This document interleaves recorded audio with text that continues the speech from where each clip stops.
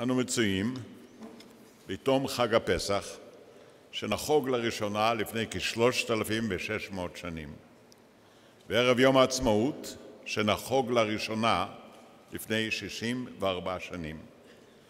אלה חגים מכוננים, לא רק היסטוריים. יציאת מצרים מבחינה היסטורית אירעה בעבר הרחוק, אבל הצורך ביציאת מצרים, הצורך הערכי בה, עודנו נמשך עד היום הזה. יציאה מעבדות לחירות היא אקטואלית גם היום, כי בעולם עדיין ישנם עבדים ושפחות, אפליה, דיכוי ועריצות. לא תמו פרעונים מהעולם. משה היה מנהיג חד פעמי. הוא ידע להיחלץ מבית עבדים, להוביל עם דרך מדבר קשה לארץ יהודה ורחוקה. גם בתקופתו היה עגל הזהב שאתגר את עשרת הדיברות. ומאז ועד היום ההיסטוריה שלנו שואפת לתיקון עולם, עולמנו אנו והעולם שמחוצה לנו. תיקון עולם מחייב אמת, חסד ושלום. כנאמר, חסד ואמת נפגשו, צדק ושלום נשקו. אמת מארץ תצמח וצדק משמיים נשקף. כך גם קמה מדינת ישראל. דוד בן גוריון שאף ליצור עם סגולה ומדינה שהיא אור לגויים. הוא דגל בחזון הנביאים, עמוד האש המוסרי. החזון הזה צריך לכוון את דרכנו גם היום. החוכמה, התושייה, העוז והיצירתיות הם אלה המלווים את צעדינו מבית העבדים למשכני החירות.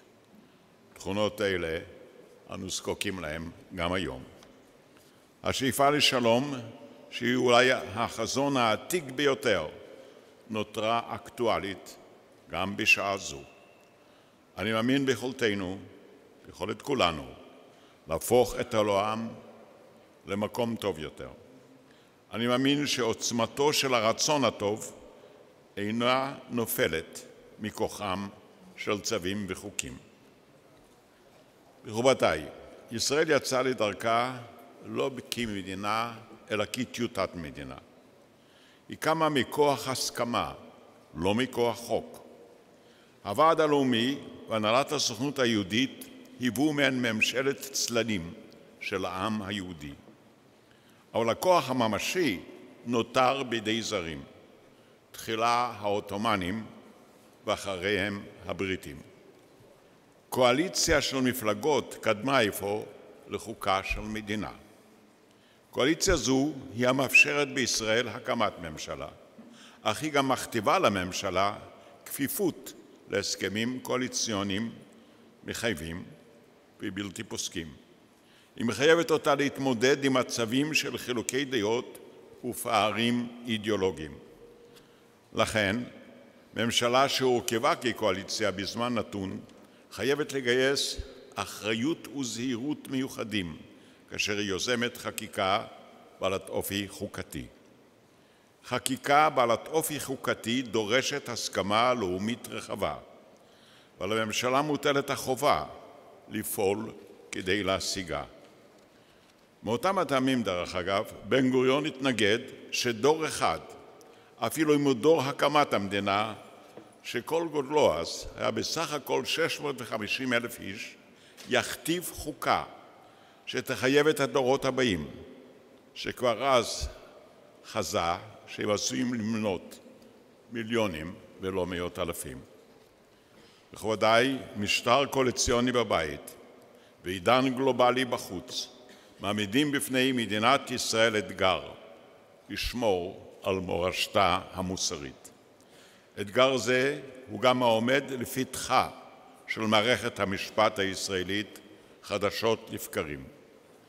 מערכת המשפט בנויה כמערכה עצמאית ובלתי תלויה, אבל היא פועלת על פי חוקי הכנסת, אשר הרכבה נבחר כמערכת פוליטית. כנסת נבחרת לזמן קצוב, ואילו כהונת השופטים אינה תלויה בקדנציה. הכל צריכים לשתף פעולה כדי שהמשפט לא יהיה כפוף לפוליטיקה.